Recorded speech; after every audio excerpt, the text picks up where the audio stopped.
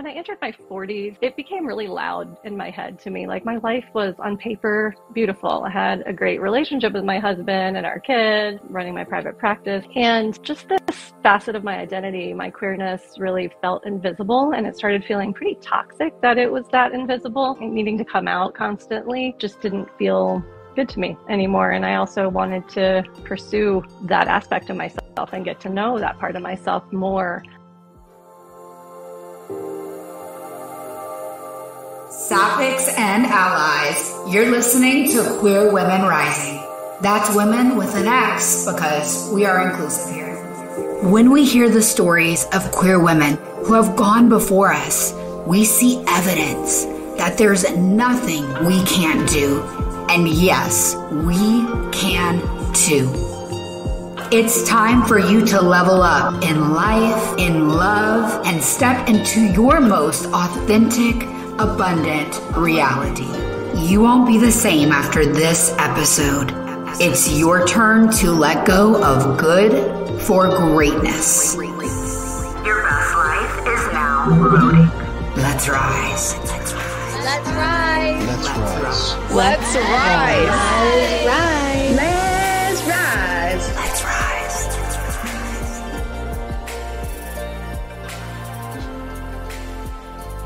Coming out after 40, midlife, late in life, coming out whenever can feel like an existential crisis. This may be your queer awakening or simply a mindset shift when you realize, hey, I get to make my own decisions. I get to be aware of what I choose and who I choose, and I don't choose this anymore. And sometimes choosing something different, especially when it comes to coming out later in life, is complicated personally, financially, relationally. So let me tell you about my guest today on Queer Women Rising. When she entered her 40s, psychotherapist and coach Jen Berlingo was living what appeared to be a stable life, running a successful private practice, married to a devoted man, and parenting their vibrant kid. But a fire burned deep within and she knew she couldn't suppress it. Jen set out to emerge as the most authentic version of herself, which led her to live more fully and step into her full queer identity. Jen Berlingo is a life coach, facilitator, best-selling award-winning author of Midlife Emergence, Free Your Inner Child. Sorry, Free Your Inner Fire. that was just so automatic for me. Let me say that again. Jen wrote Midlife Emergence, Free Your Inner Fire. She serves as a steadfast guide for coaching clients worldwide as they move through profound transitions. Jen is also a licensed professional counselor, a nationally registered art therapist, and a master Reiki practitioner and visual visual artist. I'm so glad to have her here. For those of you who don't know, I came out at age 28 ish, 29. It was like a mix because I came out bi, then I came out lesbian. And coming out midlife or late in life can be really, really challenging and honestly traumatic. I lost a lot of people along the way. And so that's what I want to talk to Jen about today um, because I know she still has a relationship with her ex partner, or I'd like to hear about how that's working out for her. So, Jen, if you are here live with me, send a little request to join the live show because everyone's ready to hear from you. I'm so excited to have you on. You will go ahead and just tap to request to join the live. In the meantime, I'm going to go through the comments. If you're here, feel free to ask me any questions. I'm happy to answer them. Oh my goodness, so many of you here today. Thank you, Coach Priya. Please marry me, so cute. Um, I got a message that says, can you help me find a lesbian wife? You're requesting them. Yes. I actually just launched a dating platform for lesbians. So if you're interested in that, DM me the word dating and I will get you hooked up. It is so different than any dating app out there. It is based on high value connections and intentionality. So if you're interested in finding future wife material, DM me the word dating. I would love to help you. I love it. Someone just left uh, the woman who reached out earlier and said, Can help me find advice? Uh, Morgan just left some advice saying, My advice is to take chances. My girlfriend thought she had no chance with me, but made a move anyway, and I liked her. Oh my gosh, that's so true. I love when people take chances because you may not be talking to someone you think is your type, and then they end up being like your person. They you can end up having the best relationship ever. There's Jen. There she is.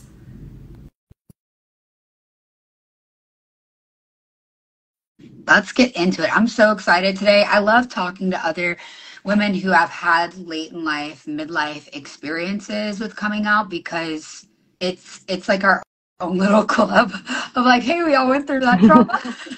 hey, how are you? Hello, good to see you. Good to see you. Sorry I didn't see your request right away. I was like, oh, that's okay. okay. I've been right here listening. oh, okay. Okay, good. Like going through the comments. It's good. We've got a lot of people here live. For everyone tuning in on the podcast, if you listen at 12 p.m. Central Standard Time live, you'll get to talk to me and my guests directly, which is so fun. But I hope you got to hear your introduction. I did. Thank you so much. Thanks for having me. You're so welcome. I want to hear your story. I've never heard your full story for the first time. So tell me, uh, like we were on a FaceTime call. yeah, sure. Give me the tea, girl. Um, I am, well, just contextually, I'm 48 right now.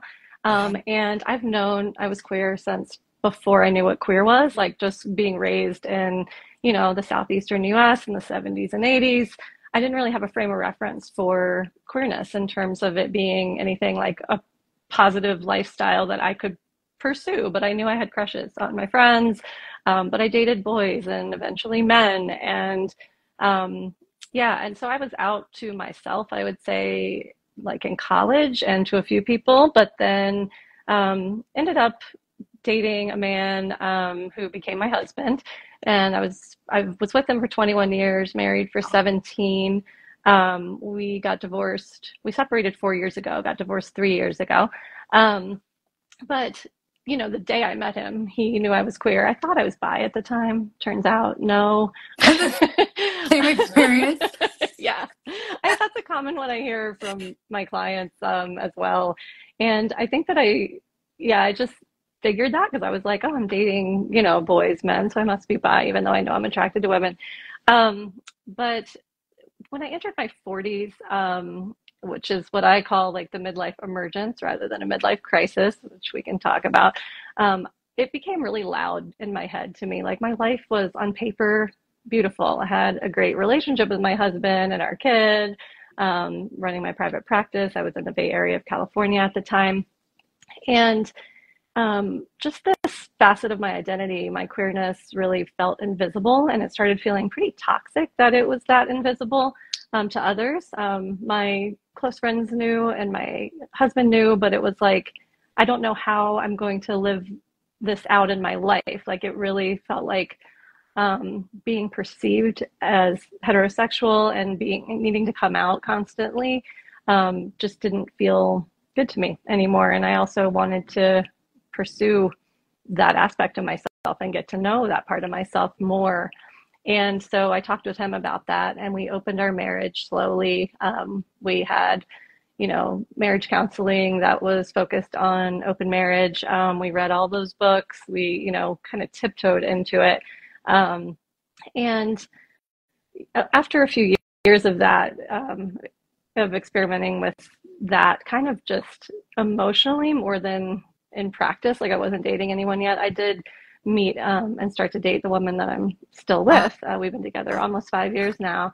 Um, and so that there was overlap there in trying to negotiate that, but it became pretty clear um, a couple months at least into our relationship that for my ex-husband and I, Craig is his name, that wasn't the way we wanted marriage to look, and that wasn't the way we wanted to look. And we realized that in our wedding vows, we had vowed to each other to let each other be the most free expressions of ourselves. And in keeping with our wedding vows, we were like, well, to do that actually would mean to separate and divorce, and it's time to do something else and have our relationship and our family take a different shape. So that's what we did. Just to not, pause really yeah. quick. So, like, how? So you tried polyamory, is is what you're saying? right? Yeah. Okay, and it was gonna be like this equal relationship, like a triad. Was that what y'all are going for? No. Um, it was more, it wasn't like for the three of us to be in relationship. It was for me to have experiences with women. Okay. Uh, he at the time wasn't interested in dating other people, but was very supportive of me exploring this. And Yeah. I thought, okay, I do need to explore this part of myself. And Yeah. um, with his support, that felt really safe. Like we kept our communication open. Um, and it felt like a really wonderful way to even, I don't know, explore that. And actually, right before, um, I felt like a month before I met my girlfriend and started dating her, I had an emergency appendectomy. And um, this is just kind of a funny story. Like, while they gave me the um, sedation drug and it was like waiting to take effect, and I'm in there with all these nurses and with Craig, and I'm like, I hope I don't die. I'm like being dramatic because I'm being rushed into like emergency surgery. I'm like, I can't, I can't die. I haven't even had sex with a woman yet. And he was like, It's okay. We'll make that happen for you. and the nurses are like, What? And then that's the last thing I remember. I was out. That is like so something I would have said. Yeah. Oh my God. sure, Oh my yeah, God. who knows what the nurses were talking about after that. But I was like, and he's like, We'll make it happen. It's okay. so Oh my yeah, he God. was very supportive and is still my best friend. Um, but I yeah. love to hear that. So the man that I dated before like I left and everything, we're still like friendly Mhm. and like it people were like shocked by that. So Yeah. but when you have a man so like, hey, go figure this out for you, like that that is real unconditional It love. really And is. yeah, did you feel like looking back, like can you identify like, oh, I was never in love? This was just like a friendship, or do you feel like at one point you did enjoy like sex with a man? Because for me, I look back and I'm like, ooh, I just enjoyed orgasms, not sex with a man. Like, Yeah. I mean, I definitely was in love with him in the sense of I love a lot of people, you know, just like there are a lot of forms of love. I didn't know um, what it could be like to be in a romantic relationship with a woman. So for me, I was like, oh, this is what it is. And I also was sort of like, I mean, we had connected, intimate sex, but it wasn't. I guess I didn't get what all that the fuss was about with sex, honestly, until I had sex with a woman. I'm like, oh, this is what everyone is feeling that I wasn't experiencing deep in my core before. Um, so it felt like, oh, I make sense now. Sex makes sense now. Um, and it's not to say that, you know, sex and my relationship with him was bad, but it just wasn't what yeah, I, I didn't know any differently, you know? So, um, and I do love him. He is the father of our kid and we co-parent and, you know, there are challenges, of course, with that, but we, um, are really still communicative with each other. He lives right down the street, you know? Um, yeah. that's So, amazing. How does your partner now, like, are, is she okay with with you and Craig? I, are her pron are the pronouns she, her? I just want to make she sure I'm getting it right. is she, her, yes. Okay. Um, and she is, she's super, um, supportive of our closeness. And just when we, we have like family dinners every week together, um, just me and Craig and our kid, our kid's non-binary. So, uh, they use they, them pronouns. And yeah, that we do that on Wednesday nights. And she's like, sometimes she's there, but usually just the three of us. And she's totally cool with that and does her own thing during that time. So it's great that I have a partner who's supportive and not threatened by the closeness of that relationship. Um, and she knows it's not a romantic relationship any longer. It's really like a, it, he's family, you know? Yeah, no, I get that. I've had exes who like hated that I was still friendly with my Yeah. ex, and like that's just not gonna fly. Cause I'm like, he's like my family. Yeah, Like totally. we were together for so long. Okay, so we have a, a comment from Wonder Woman three two one. Did you end up with the first person you were with, the first woman you were with? Can you confirm that?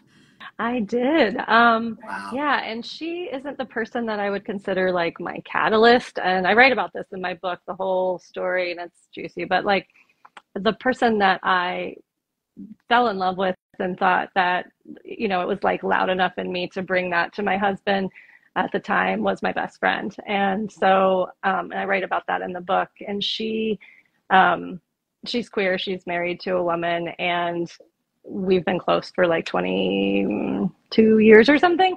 And so I felt like our relationship for me was becoming an attraction as well. And so that was something that I worked through um, in the beginning of kind of this whole midlife emergence situation. And she and I are still best friends and um, got through that period. I was open with her about it. And um, yeah, she was very supportive and understanding about that, but we were never together. So, um, yes, I then when I met Diana, um, we started dating and I'm still with her. oh, that's beautiful. Well, what it sounds like you've had so much support was there anyone who wasn't supportive or like what was the biggest challenge for this midlife emergence? Yeah, um, definitely there are. I feel like, huh, the way that I say that, like, I have definitely a group of supportive friends. Um, all my closest friends are therapists, so that's a perk because we all train together. yes. therapy program, so that's fun. But um, I felt like it was sort of the final frontier to bring this um, news or you know the development of this in my life to my family of origin, um, to my mom specifically, and uh, to my stepdad, but mostly my mom. And I had to be far enough along in knowing the kind of shift and transition I was making, that Craig and I were separating before I brought that to her because I knew that what she would respond with, like the fear of um, my life being more difficult, the fear of divorce for my child. I already had those voices in my head because she installed them. So I felt like I don't actually need those reinforced. Um, so I was really careful in, you know, bringing that up with her and wrote her a long letter, let her have time to digest the change before I was in conversation with her because I knew it would be somewhat of a shock um, because Craig and I had a really great relationship. So um, but she knew I had come out to her in my early 20s. Okay. Um, and it was always disregarded. Like, like, oh, well, Same. you're with Craig, so it doesn't matter. Same. really? Yeah. Yes. So interesting and, and minimizing. So I'm like, oh, okay, I guess that doesn't matter because I'm not living that life, but I am queer. I don't know. So, I mean, I don't know. The gender of your partner doesn't determine your sexuality. So it felt, um, hard that that wasn't acknowledged, I guess. Yeah. Um, yeah. That, that like that with you? Great, powerful statement. The gender of your partner does not determine your sexuality. And I think someone needs to hear about today to feel so validated if they've never gotten that experience. I've I've heard so many women say, but I've never had sex with a woman, so I I'm not like I might not be bi. I'm like, no, like if you are feeling these things, like you are bi, you are what you say you are. You right, are what you exactly. identify you know yourself the yes. best, so you know what you're feeling. Yeah. Yes, that's what I tell everyone. Any any gender expression, I'm like, you are what you say you are. End of discussion. Totally. Like that is. It. Yeah. Yeah. So, uh, wait, what was your question? It was, did I experience? Wait, I forgot already. oh, yeah. Did did you? Um, what did I oh, say? Oh, about was, my mom, like minimizing yeah. it. Yeah. I love her. We're so close now, but I had like hinted coming out things early on and she'd say stuff like oh it's kind of weird that you'd bring this one friend home from college all the mm. time and like mm-hmm. i knew you must have had a crush on her but you also had a boyfriend so i didn't think anything of it but the way you were interacting with her was weird and back then I was literally like in high school and college. I, this is so embarrassing, but I mean, if someone's going to dig it up one day, I'll dig it up for myself.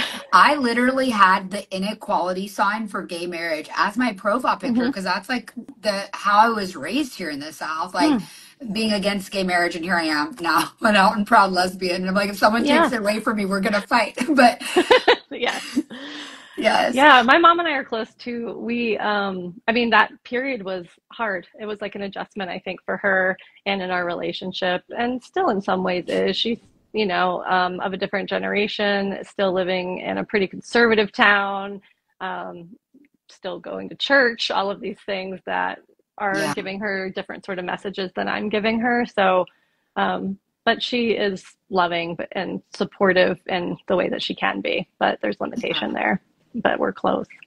I think for me, my parents seeing like, oh, you're in this experimentation phase where I was still with him, yet trying to date women. They like yeah. didn't respect it. They did not trust it. Mm-hmm. And like I get it's one person it's one thing for like getting your parents and like southern religious people to accept you as gay, but getting them to accept you as gay and like also dating multiple people, like it was really hard for them. Yeah. And I have polyamorous friends, and I'm like, I love them and I respect them. But then once I tried that, I knew very quickly when I fell in love with the woman, I'm not polyamorous. I Yeah, immediately was like, if you touch her, you gonna die.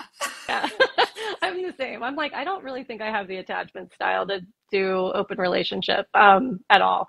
But I, I mean, I respect it. I know it's a valid relationship style, and I know a lot of people who have really awesome relationships like that. But it's not for me. It did feel like something that was, um, you know, we were trying our best to Yeah. keep our marriage together because we are so close.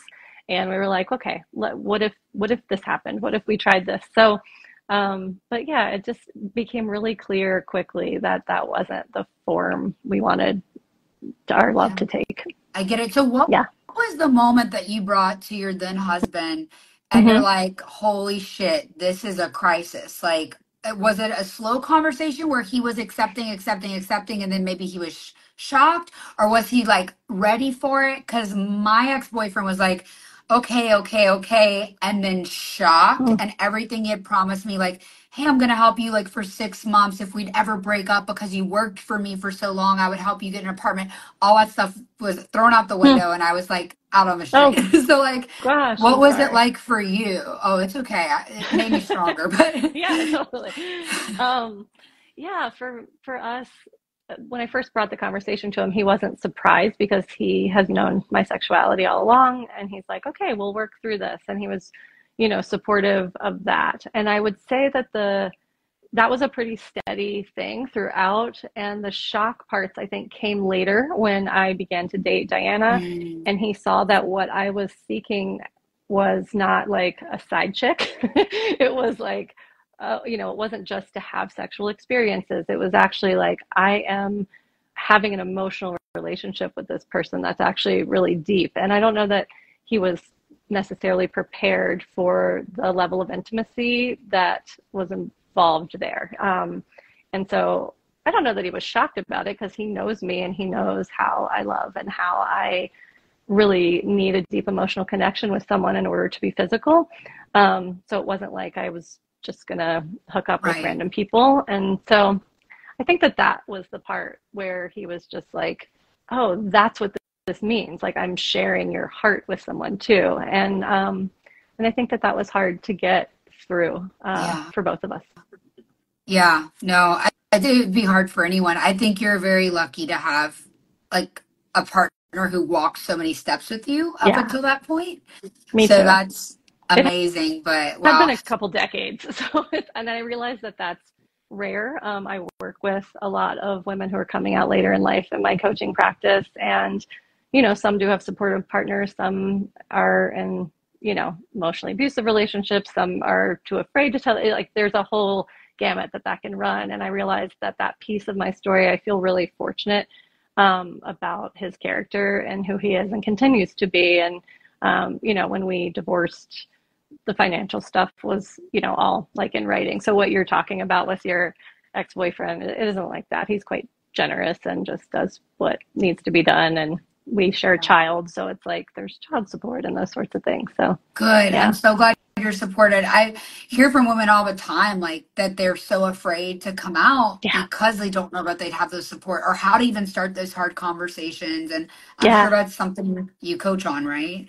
Definitely. I do feel like um, there is this level of safety, security, familiarity of this like safe base that a marriage can provide, especially a long-term one, and to let go of that for the mystery of who knows what is coming is something that I work with people on all the time. This, um, you know, stagnation versus generativity sort of thing. It's like it's the stage of life of midlife. Erik Erikson, a psychologist in the 50s, said that that's sort of the question that we're facing. So the stagnation part of like that feels actually like safety to a lot of people, and it it really is in a lot of ways. Like financially, it can be, and just security wise, um, and future wise. It's like you know what that future is going to look like. So um, it's like the devil you know and the devil you don't know, or you know, there are a lot of ways of saying that. But when I wrote my book, I talked to over a hundred women about this idea of um, risk taking and going toward something that's unknown. And all of them said that they,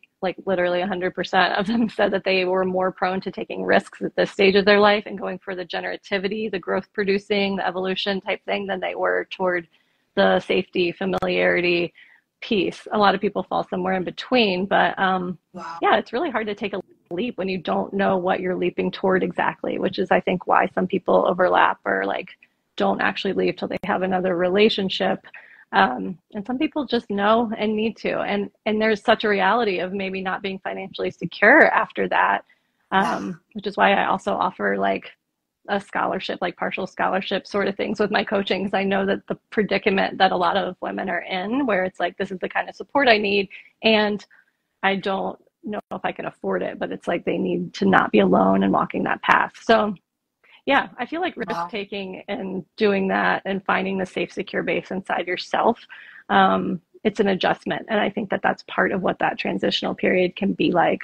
It really, yeah. And I know for me, it took, I don't know how long it takes your clients, but I know for me, just to be real, up until I went on my vacation this year, which where I started my eat, pray, gay, love journey, like in May, yeah. I hadn't really like slowed down. Mm ever because I was just build my business, build my business, build my business. Yeah. And um, yeah, it was really scary in the beginning. And then I started getting super successful and I was like, oh, okay, like I don't want to slow down. And like just kept up maybe a, a little workaholic ism. Mm-hmm. Yeah. and I finally like got settled in my soul and in my spirit and like have the systems in place where I don't have to do that anymore. And it's it feels like a miracle. But I will say that first year and a half mm-hmm. felt like the scariest thing. The it scariest. Is. It can be so scary. Yeah. What is that like for you in terms, like personally, professionally, with risk taking and like moving from something that might feel safe to something that who knows? yeah. Well, I, I will say this. I'm 32. When this happened to me, I was 29. Mm-hmm. That was my like, would you call it midlife emergence? Yeah. you're, yeah, you're more in quarter life, maybe. yeah, quarter yeah. life. Well, yeah. it, it, was, I'm very blessed that whenever I was married to a man, mm-hmm. I did not have a mm-hmm. child. Mm-hmm. And I'm very blessed that when I dated a man, I did not have a child. Now, mm-hmm. I hope if I want to have a child one day, I'm able to have a child because yes. I'm confused at why I never accidentally got pregnant. But that's another story for another day. Um, I think if I had a child or children, this would have been a lot more challenging for me. And maybe I would have stayed longer.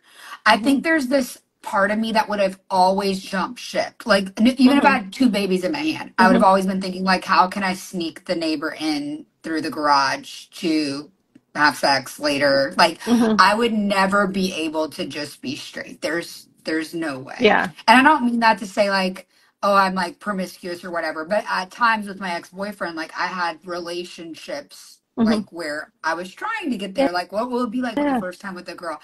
So eventually I just it was too much. I couldn't take it and I did jump ship. Mm-hmm. So I know I do I'm willing to take risk. I'm definitely willing to take take risk for myself right now. I think it's only fair for me to say that if I was 40 and I had a even more luxury lifestyle, I was afraid to leave, I don't know mm-hmm. if I mm-hmm. would have done it.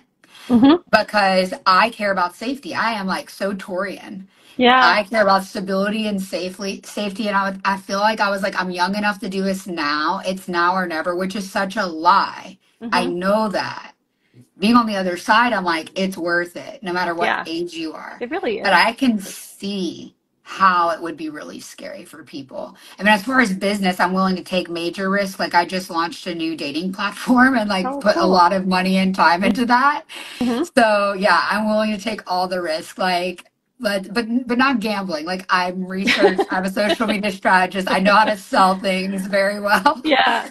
So yeah, I'm willing to take calculated risks. Totally. So yeah. and I think that that's what it's about. And I mean, just having the support on board, it's it is. It's hard to leave like a lifestyle. We don't actually have cultural support for that sort of thing. For tuning into our own inner voice and our own authenticity and acting on that. And like when you're in midlife, the stakes feel so high um, because you can be settled into careers and mortgages and kids, and your parents are aging and you know, you might be taking care of elders. And at that stage of life, we don't really have um, like roadmaps or models or cheerleaders to help us unfurl into a more expansive and maybe true way of being.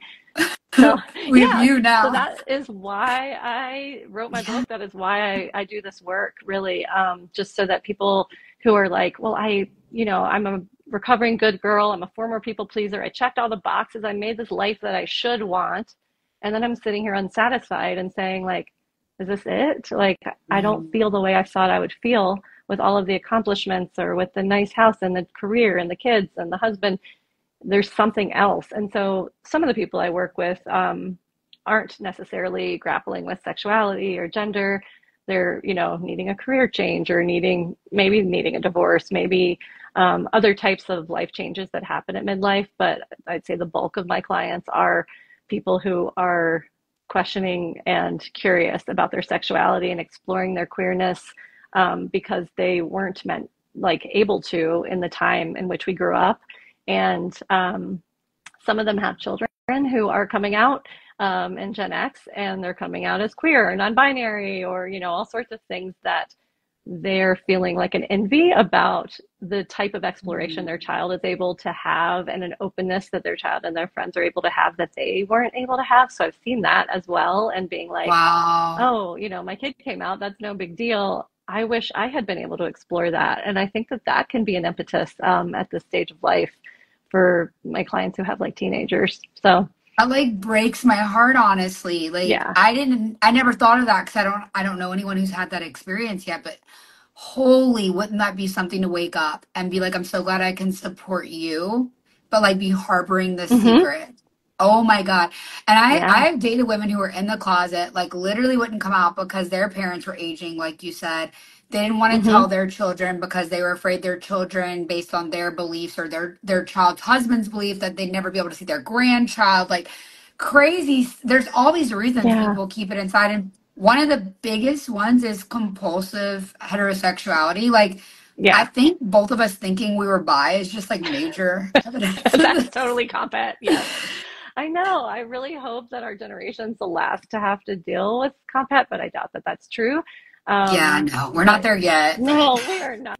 But yeah, it just is so sad when like we're not acknowledged for sexuality or gender. It can create, you know, such a sense of like disconnection from the self and a whole other host of mental health issues. And it's like a patriarchal society that expects that heterosexuality is the norm or even you know, asking a little girl like, "Oh, do you have a boyfriend?" or "You're going to be knocking him dead when you grow up," or you know, whatever. It, it drives like, me crazy to hear that.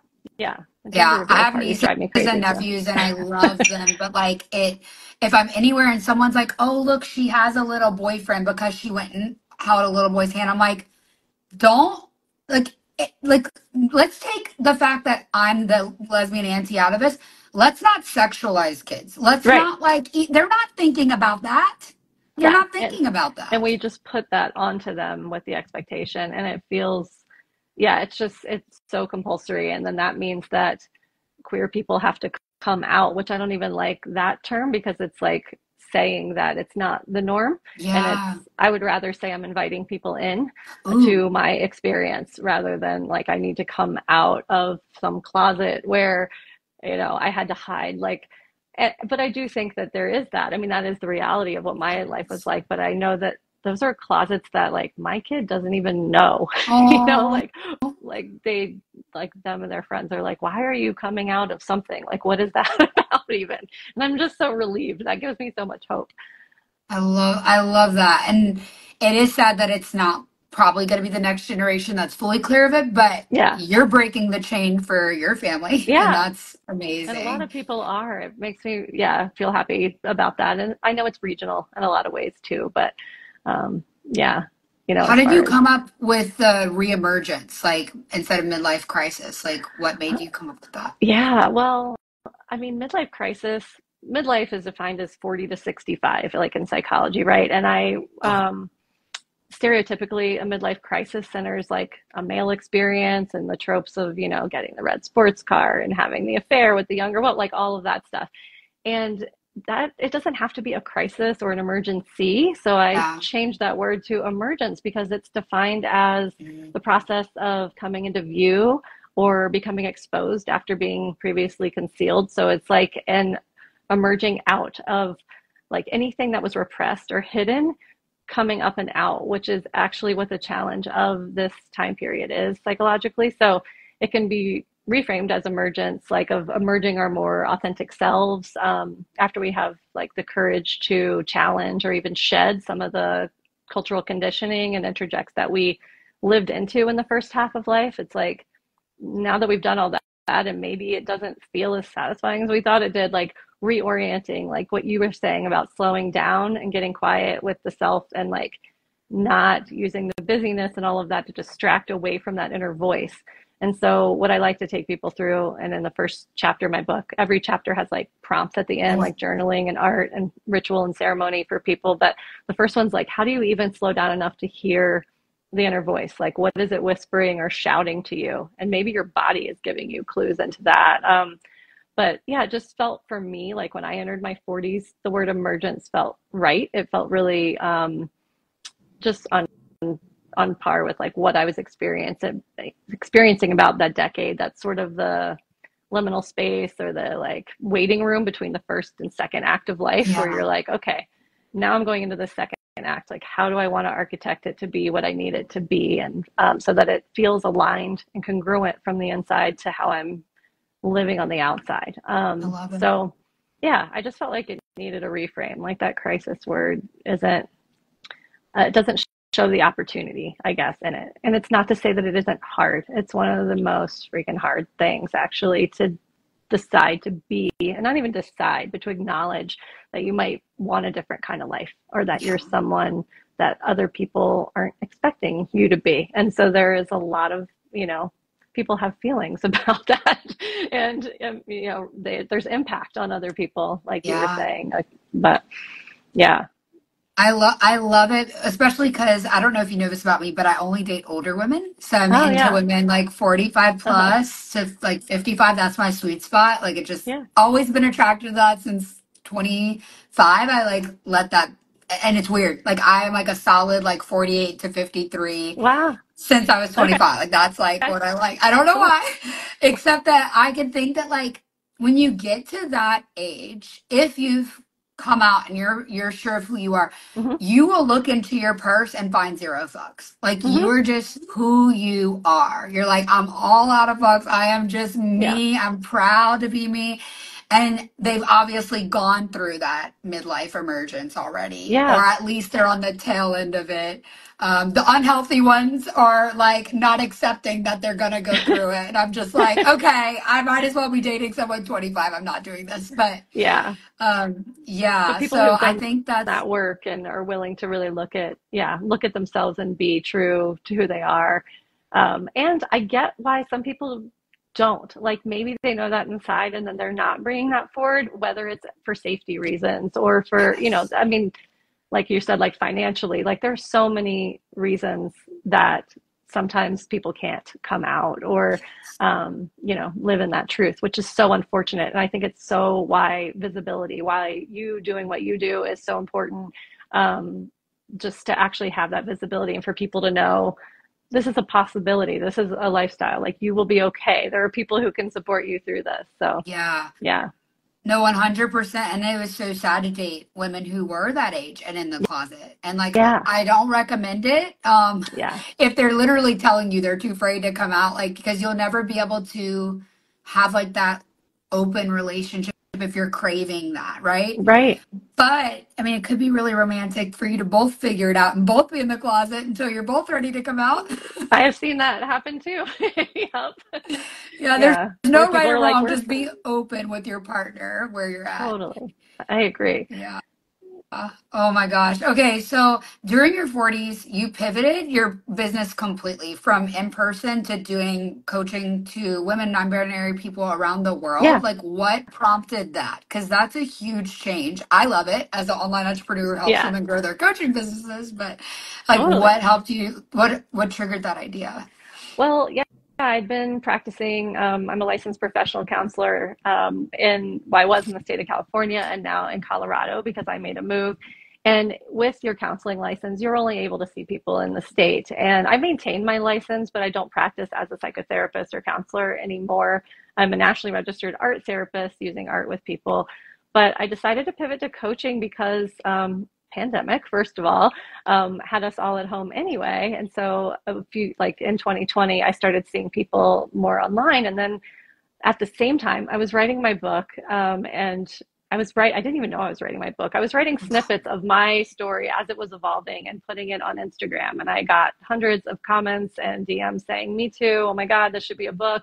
Um, and I thought, oh, maybe. So I started writing all of that and started working with women who were um, working on their sexuality and maybe wanting to explore that or leave their marriage or have open relationships. And I saw a need for that. And I was like, I really want this to be accessible to more than just people in my state or in my neighborhood. Um, so I stopped practicing as a therapist and I did take some coaching training, but a lot of my therapeutic training just translates pretty well, um, having done that for 20 years. So I, um, yeah, started, I pivoted to coaching and I like the freedom of that too, in the sense of, um, as a therapist, it's kind of weird to put a like memoir out there that bears your soul. Yeah. you know? It's like maybe yeah. TMI. But as a coach, actually, I feel like sharing who I am and my experience has actually led people to, um, you know, accept their own a little more. And I hear that a lot from people like, thanks for giving me the courage, like by being as raw and honest as you were. I know that I can do that. And I think that, um, yeah, I have more freedom to do that in a coaching approach than I did um, in a like counseling approach. That makes sense. That makes sense. I've coached a few uh like lesbian coaches who are therapists mm-hmm. as well. And mm-hmm. it's such a great thing for their business because you guys have so much freedom and actual scalability. You can impact so many more people's lives than you could just taking one client at a time, one client right. at a time. If you have like courses and right. group programs. Um, what about your your book? Like you keep talking about it. It's like a memoir, but it's also got exercises. Yeah. Like I I love. I'm geeking out on the organization. Explain what it's like totally. to read it because it's your story, but it's also like helping them figure out theirs. It's both. Um, the genre is called a teaching memoir, and it is basically a combination of memoir and personal growth book, which are the two kinds of books I like to read. So I was like, oh, I, I can write them together. Um, so the bulk of it really is my story, and it's a pretty raw, open tale of that. I'm not the heroine in, in the story. I wrote it as it was happening, not like, and it's tied up with a bow and all pretty, which still hasn't happened yet. Um, so it really takes people through a journey. And in the 12 chapters, each one is like a theme that is common in midlife, whether you're working through something like I was with um, sexuality or if it's any other kind of transition. So I tell my story and then I talk about it also from a more of a professional, like coaching therapeutic perspective. Um, talking maybe about attachment or about different things that have to do with that. And then at the end of each of the 12 chapters, 13, 13 chapters. I was like, do I have 12? I have 13. I like odd numbers. Um, at the end of each of the 13 chapters, I invite the reader into their own and self inquiry work, like through journaling prompts, art prompts, as I'm an art therapist and want to do that, you know, in different media, um, and in personal ritual and ceremony ideas, like creating. I have people create a midlife emergence sort of altar in the beginning and then work with different things as they're going through. So um, you can take or leave any of the prompts. It's like a buffet of options, but I like to have that for different learning styles or different ways that people like to explore. Um, so, yeah, that's sort of the format of it. Um, but it reads like a story and then it has those sections. I've talked with a lot of readers who've read through and not done the prompts and then gone back and done all of them, you know, if they just want to do that. And I created an audiobook uh, as well that I read so that you can just hear me tell the story um, also. So I love audiobooks. Okay, where can they get this amazing book that is going to be an exercise and your story? Yeah, it's available anywhere you buy books online, or you can ask for it in your library or bookstore and they can order it for you if they don't already have it. Um, Amazon has it in paperback, ebook, and audiobook. Um, bookshop.org is a great place to support. So, yeah, any of those places, if you want an autograph copy, um, you can go to my website and I can sign it and you know personalize it for you and send it out myself. Oh. so um, yeah there are a bunch of options for where to find it. And um, yeah my website's just my name jenberlingo.com and you can also find out about my individual coaching and group coaching programs. I have a new one opening. I just opened enrollment or applications yesterday hmm. for it and it's starting in september in two months. So that's a midlife emergence group. Um, so if you need you know to be in a group of other women who get it. Um, I, this is the fourth time I've run it, and it's wow. such a beautiful program each time. Um, just the way that the cohort comes together. So, mm. just yeah, that's available now as well. So, and I have a bunch of online programs and things. So, all of that's there. I love that support. they they're gonna have so much support. No, you don't have to like rush your sell part. Like, I want people to know where to go to get the yeah. the help that they need. Like, if someone's listening to this and they're like okay, Jen, I'm coming out or I'm afraid to come out, what would be the thing you recommend other than the book? We know the book's going to yeah. be amazing for them, but what would be like the coaching or the course? Where would be the first place to go? Yeah, if they are still kind of questioning um, whether or not they can or what this means inside and like keeping that in, a couple different things um, like individual coaching with me, I think a lot of people um, who join a group, I have some that are like, I'm a little hesitant to say this out loud to other people, especially strangers, like wanting more of that safety of a one on one confidential connection. Yeah.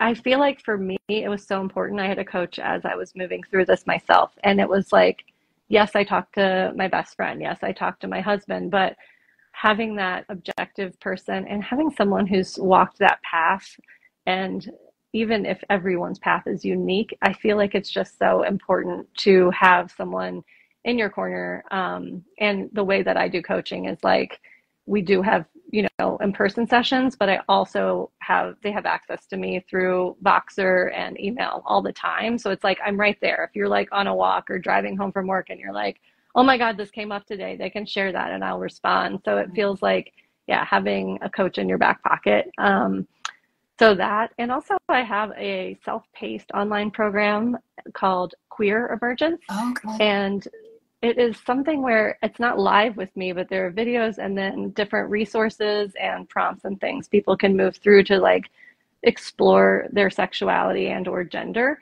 Um, and that's just six modules and it's um yeah only $97 i believe right now um yeah so i have I have different programs on my site for people. So that's one that is sort of like putting a, you know, baby toe into the water and exploring some of the language around that and some of the resources that are already available out there.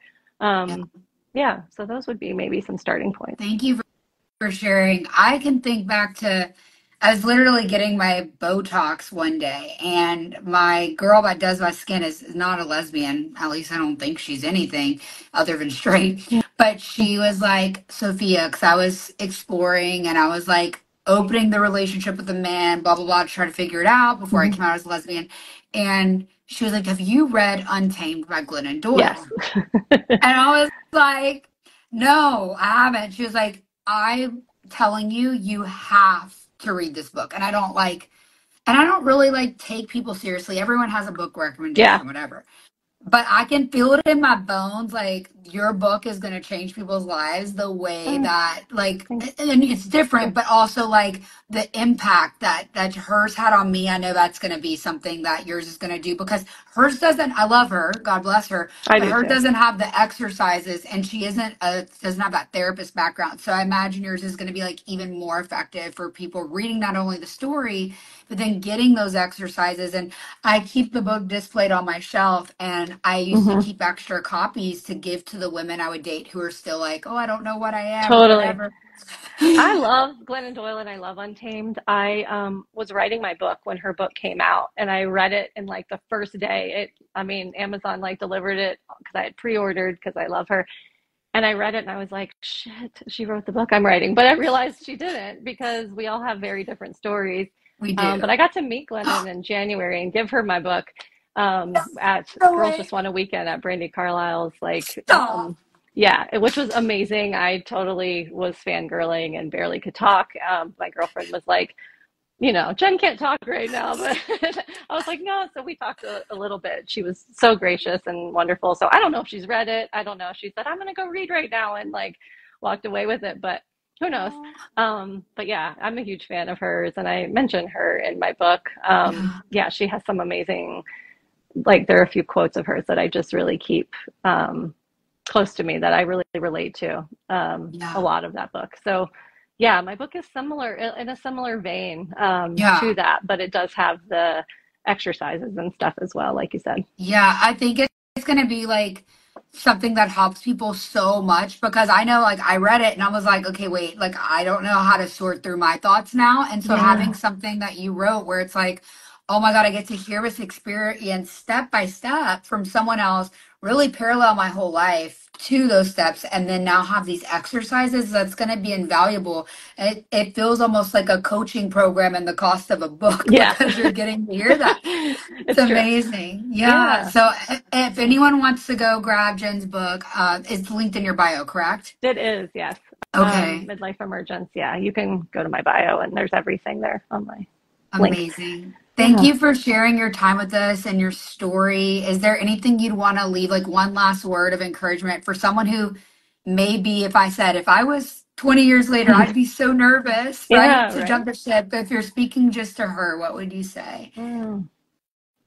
I would say that a couple thi- things. Like it's more important to not abandon yourself. Like when you're scared of abandoning someone else or a family, that modeling of staying with yourself and staying true to yourself and modeling for your children if you have them, uh, for your friends, for whomever is watching. It's like being true to yourself is going to ripple out and give other people the courage to be able to be true to themselves too. I think it's a contagious thing, integrity.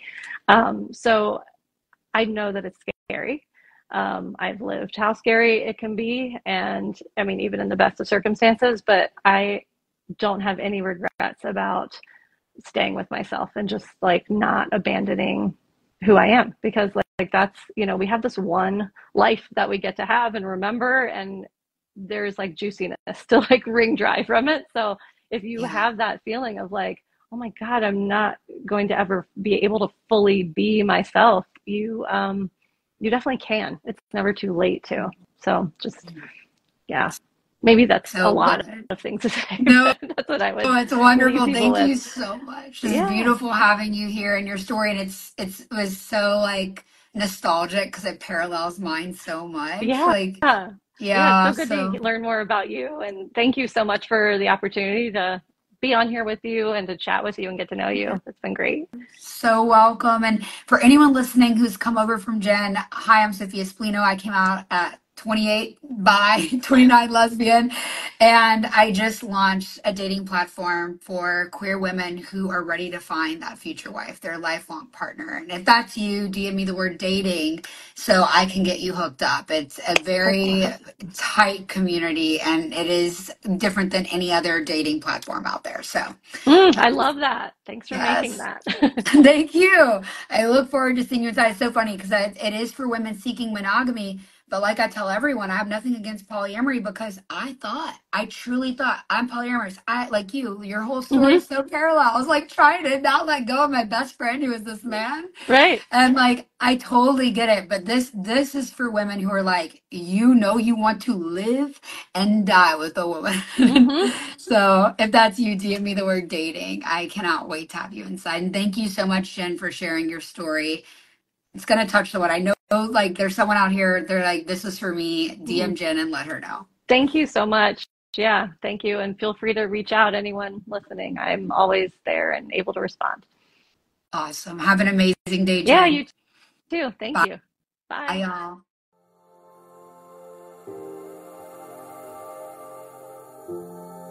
As queer women, that's women with an X, because of course we are inclusive here. As I was saying, as queer women, we haven't always been lifted up or celebrated. We have often felt left out and put down in places that historically haven't welcomed us. In fact, we have been conditioned by society to be grateful for mere tolerance. My resilient LGBTQ plus IA community, I am talking to you. I'll bet you've recognized the spark that God put in your heart, your unique calling to impact the world in only a way that you can. A business idea, a brand to build, a coaching program to start, the art to create, the song to sing, the book to write, that relationship you long to build. But that little light inside your soul has often been blown out by the people around you, leaving you conditioned to play small and not step into your full potential. You are not alone. And it's never too late to truly live your most authentic dream life. I would know. I came out late in life, nearly 30, a couple years ago after being bullied for months inside a country club. Right outside of my weights class, I was assaulted by a bigoted woman who couldn't stand my queerness. She physically pushed me, so I had a meeting with management. I told them I didn't feel safe. I brought forth evidence, and guess what? They did nothing. Sadly, this is normal. But in order to create change, we have to be brave enough to be the change ourselves. So I did a thing. I started my own virtual country club for queer women, a safe place for us to create meaningful connections and grow. So if you're looking for a love connection, networking opportunities, or coaching to live your best freedom life, you want to apply to be a part of our incredible community of purpose driven, passionate queer women. Join Queer Women Rising, the online queer country club for growth minded women ready to level up in life and love. To apply, DM me the word rising on Instagram at Sophia Spallino or chat me the word rising on sophiaspallino.com. Now, beyond hosting Queer Women Rising, I am a personal brand coach and social media strategist. If you give me a moment to tell you about what I do, I can share how I can help you, just like I've helped many clients before get famous online and make more money. If you're an exhausted coach or service provider, ready to scale your business for real, or you're just getting started building your dream brand from scratch, and if you're ready to build your own profitable personal brand, I can show you how in six months or less. But why should you take my word for it? Well, I've spent over 10 years in the social media marketing industry, amassing over 400,000 followers across platforms like Instagram, TikTok, Facebook, and YouTube, as well as hosting a top charting podcast, building a successful service provider business, and coaching powerful women to build purpose driven, profitable personal brands. Yeah, I have the social media and sales process strategies that can help you finally make the money you deserve. Because I want to help you build your dream business that gives you time freedom and makes real money. So, for a limited time, I'm giving away your first steps to go from less than 5K months and advance to 10 to 20K months. Grab my newly revamped Profitable Personal Brand Blueprint, my proven framework to build yourself a personal brand that motivates, inspires, and sells so that your business can thrive the way it should.